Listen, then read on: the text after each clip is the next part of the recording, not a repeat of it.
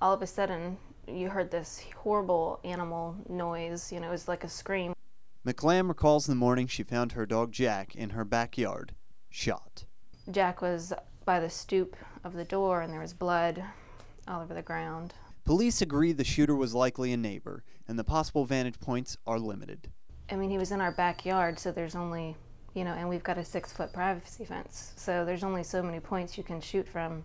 Most kids would be in school, so it would, it would be an adult. Uh, I don't know. I don't know. Jack was rushed to the vet and then taken to the Augusta Animal Hospital for emergency surgery. He's doing okay. Um, they were able to repair his colon and his bladder. Um, his urethra, they had, they had three holes that they could find, um, but there's likely a fourth because you must have an entry and an exit wound.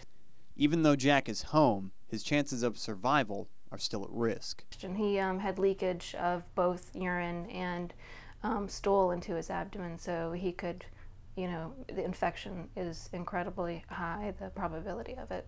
The expenses to the McLam family have been costly, and their monetary situation is already difficult.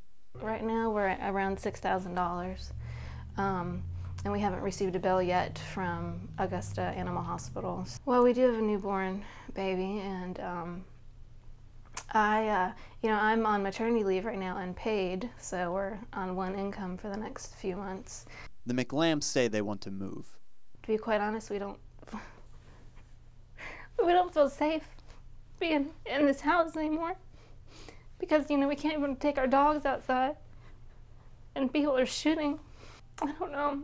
We we both just want we just want to move out of this house and get out of Staunton and it's going to take a little longer um, to do that, obviously, with the money situation where it is now. So, but we're going to get out of here as soon as we can.